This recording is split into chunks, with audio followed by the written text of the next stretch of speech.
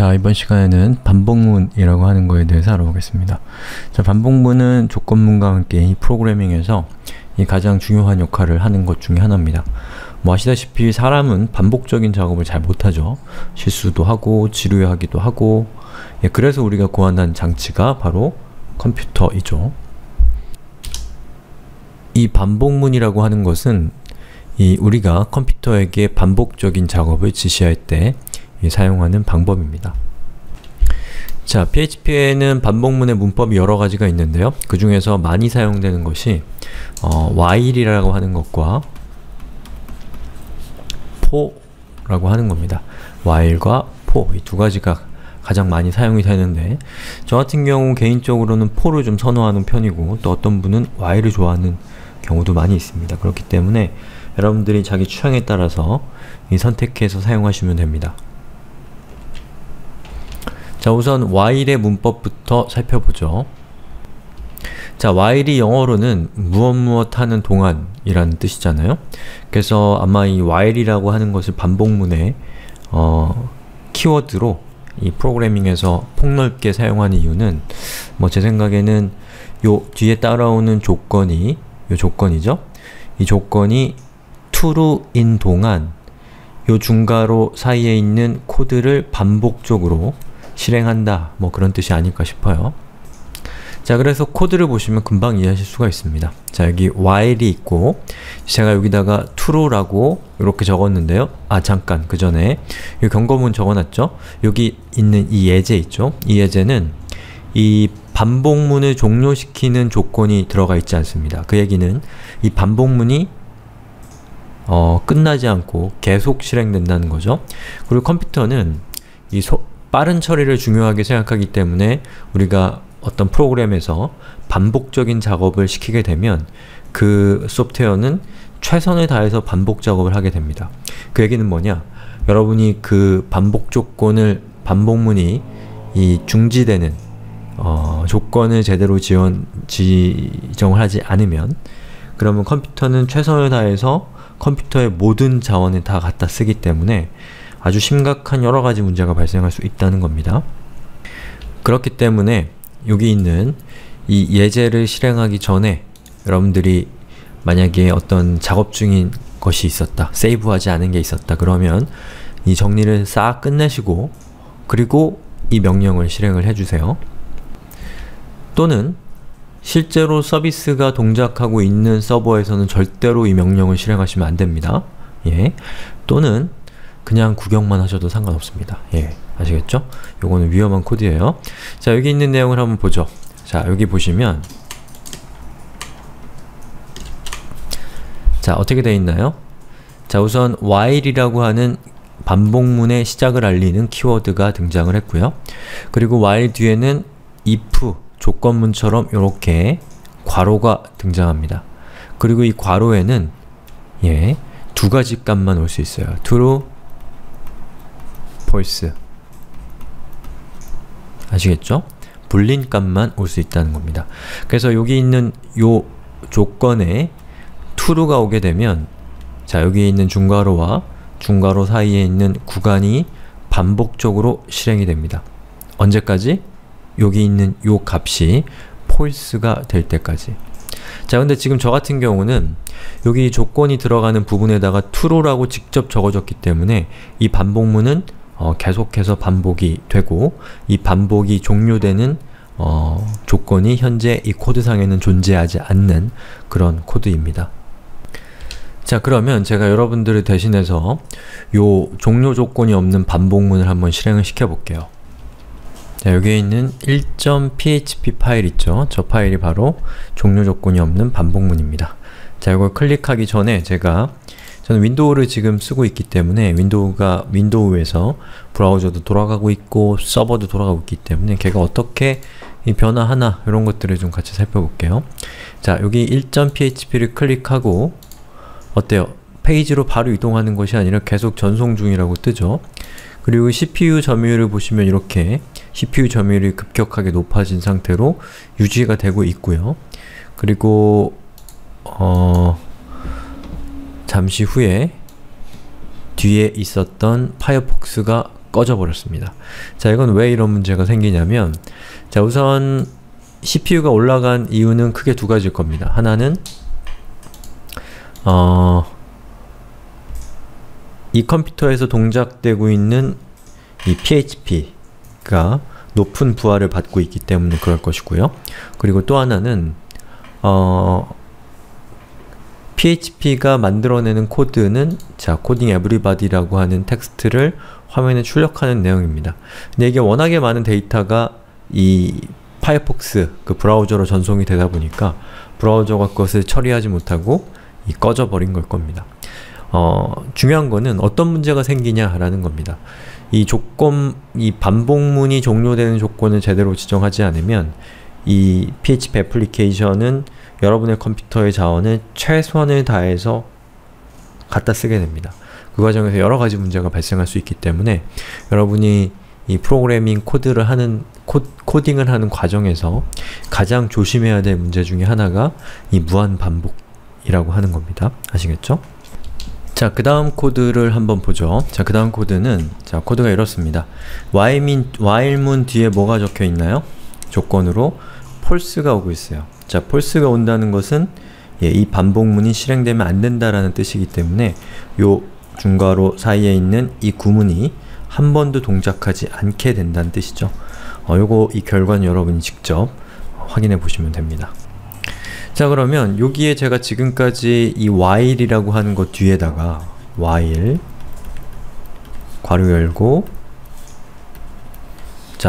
여기에 조건이 들어오는 요 지점에다가 제가 true 그리고 false 라고 이렇게 제가 적어놨잖아요. 그쵸? true와 false를 고정적으로 적어놨는데 그럼 어떻게 반복문이 실행이 되고 또 어떻게 반복문이 중간에 종료될 수 있냐 라는 질문을 가지실 수가 있겠죠.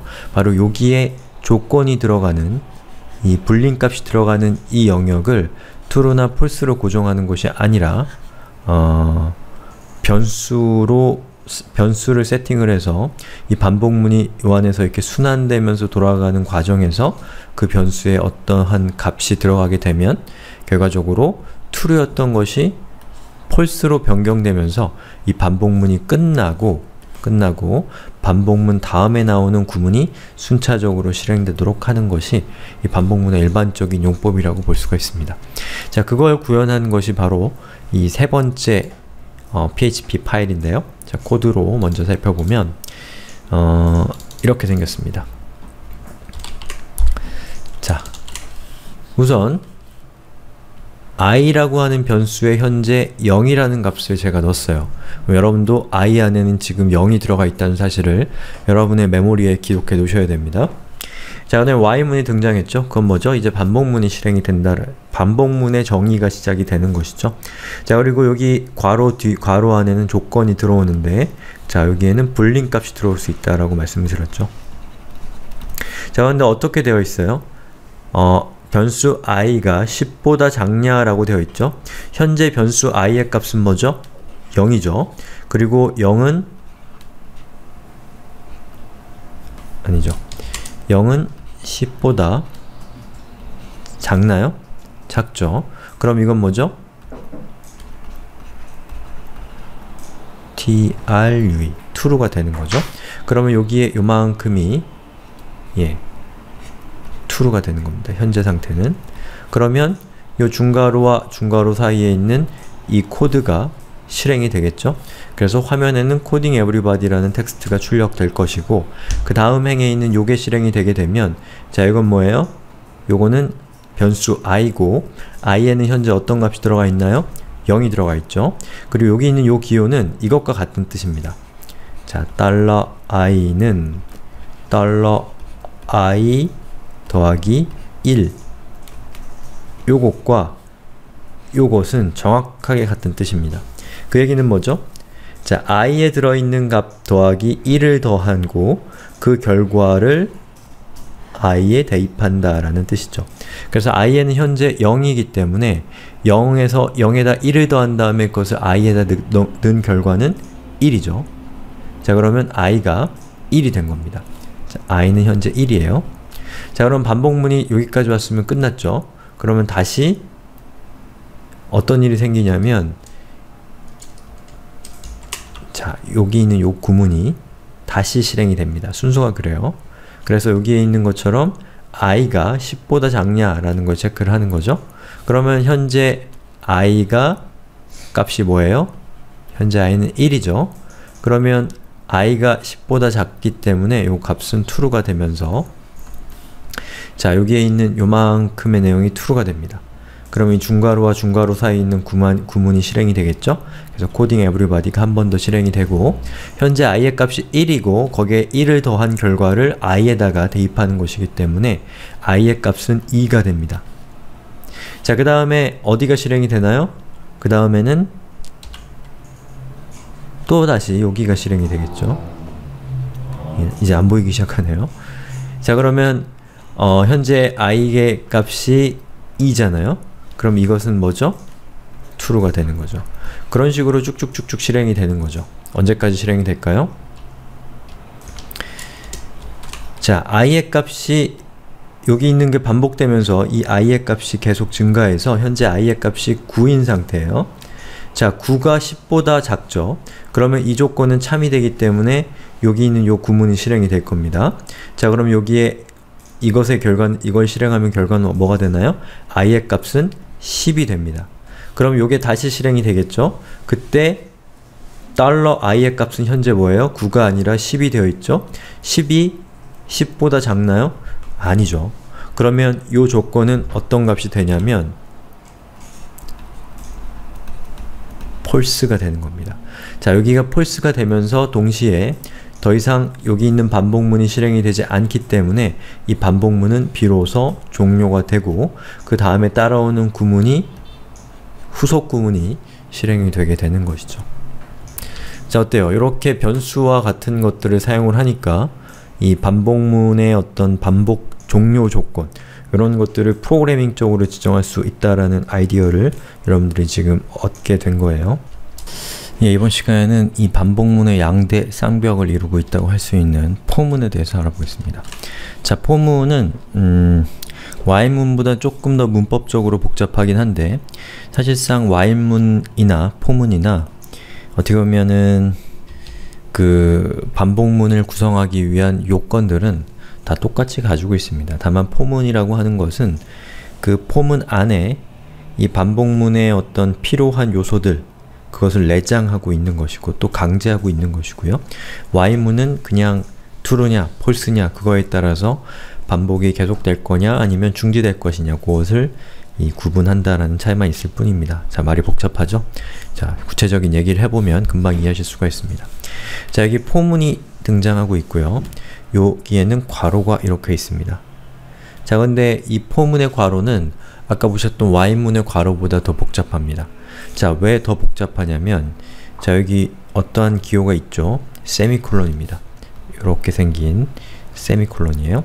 세미콜론이 중간에 두 개가 있고 어, 세미콜론 좌우에 이 구성 요소가 있습니다. 덩어리가 하나, 둘, 세 개가 있는데 이 각각의 세 개들이 어, 반복을 반복을 언제까지 할 것이냐 라고 하는 것을 결정하는 데 도움을 주는 것들입니다.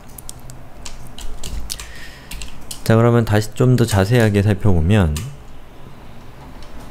자 예제를 보면 금방 이해할 수 있어요. 자, 첫 번째 구성 요소는 초기화라는 거고요. 이 초기화는 이 반복문이 실행될 때 1회에 한해서 처음 실행이 됩니다. 예. 자, 그 다음에 이 반복 지속 여부 여기에는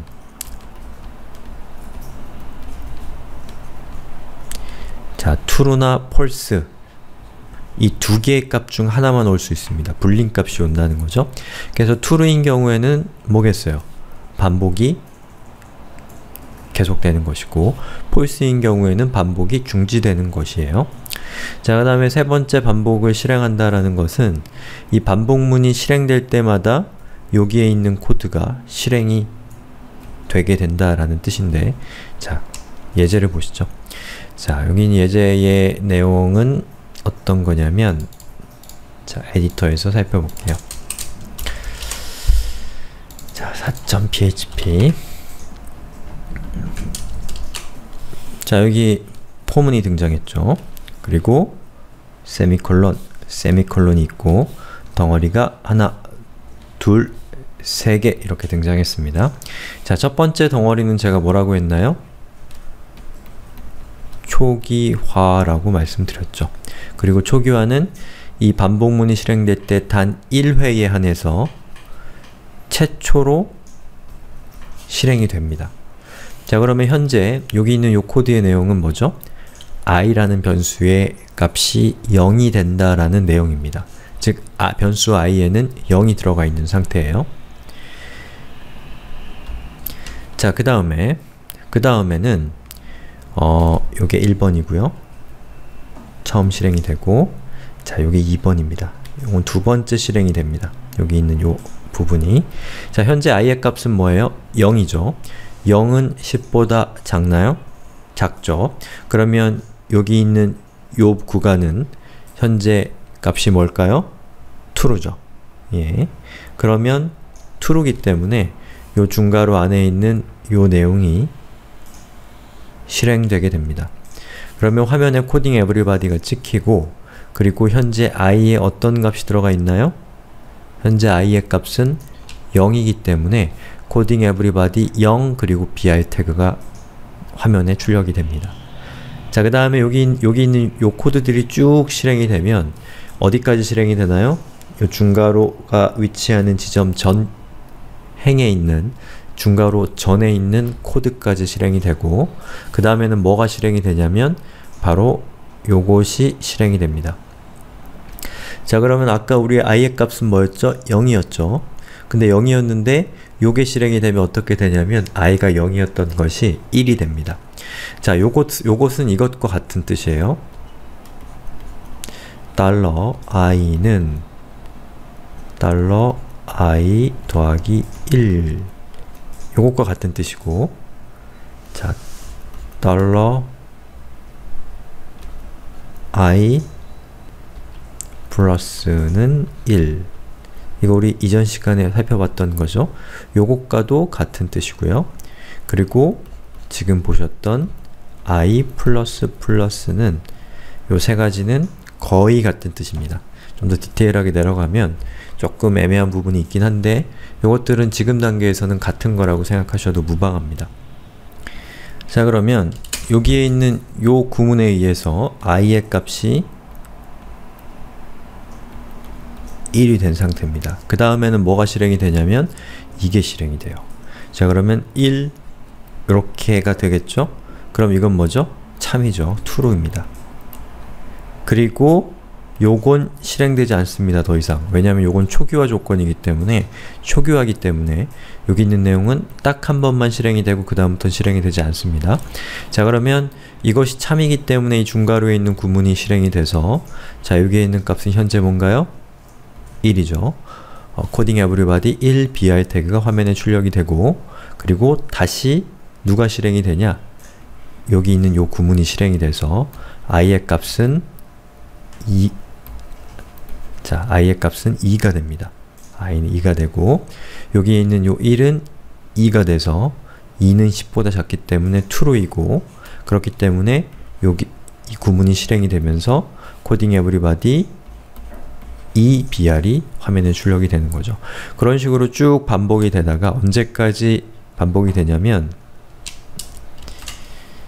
자 현재 여기 있는 요 i의 값이 9예요. 그래서 coding everybody 9 br까지 화면에 출력이 된 상태에서 다시 요게 실행이 되면 i의 값은 10이 되죠.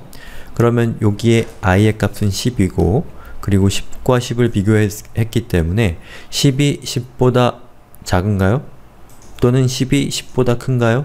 그렇지 않죠. 그러면 여기 있는 이 결과는 폴스가 됩니다. 자 그렇게 되면 어떻게 되죠? 여기에 있는 요것이 폴스가 되면 이 종료, 이 반복문은 여기서 종료가 되고 요 중괄호 뒤쪽에 있는 구문이 그때서야 비로소 실행되기 시작한다는 거죠. 자, 요게 포문의 용법입니다. 어떻게 보면 while문과 똑같죠. while문도 이렇게 했잖아요. 자, i는 0이라고 하고 우리가 while이라고 하고 그리고 i가 10보다 작은지 확인한 다음에 자, 여기에다가는 뭐 echo 같은 코드를 작성을 했죠. 이거 복습입니다. 그리고 어, 자, 요거 전에 여기에서 $i 더하기는 1이라고 했었잖아요. 그럼 i의 값이 0이었던 것이 1씩 증가하면서 여기 있는 비교문이랑 비교를 하게 돼서 언제까지?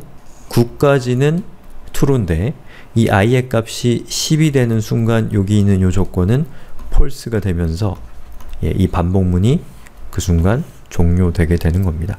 그것과 똑같은 원리를 이 포문은 문법적으로 내장하고 있는 거라고 생각하시면 되겠습니다.